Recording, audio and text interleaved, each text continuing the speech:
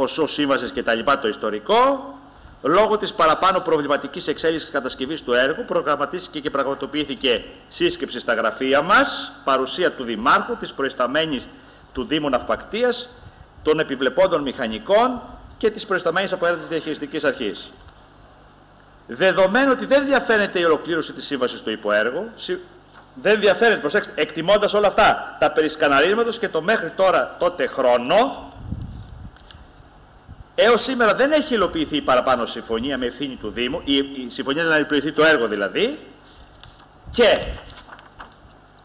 με το τάδε help desk η υπηρεσία μας ζήτησε γνωμοδότηση επί του θέματος από την ειδική υπηρεσία, λαμβάνοντας υπόψη τα παραπάνω, εδώ είναι το σημαντικό, προβαίνουμε σε αρνητική γνώμη στο αίτημα προέντεγκρισης της δεύτερης παράτασης, είχαμε ζητήσει δεύτερη παράταση και λέει, ό, τι παράταση δεύτερη.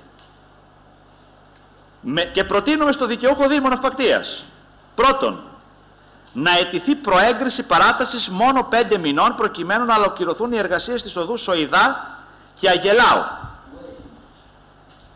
Δεύτερον, να προχωρήσει στις διαδικασίες που συμφωνήθηκαν στις 21 του 2021, σύσκεψη, σύνταξη, προέγκριση και έγκριση μειωτικού ΑΠΕ, αν ο δικαιούχος Δήμος Ναυπακτίας δεν συμμορφωθεί στα πλαίσια των αρμοδιοτήτων, στα πλαίσια των αρμοδιοτήτων μας, θα αναγκαστούμε να προβούμε σε απένταξη του συνόλου του έργου και καταλογισμό των έως σήμερα δαπανών στο Δήμο.